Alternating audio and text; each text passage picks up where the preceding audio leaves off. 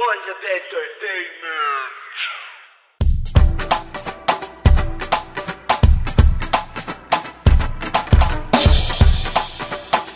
Mahuhulog ang loob ninyo sa aking hipnotismo Sariwain ang gusto aking taglay na mekanismo mismo Ibinuhos ang determinasyon Sa pangarap na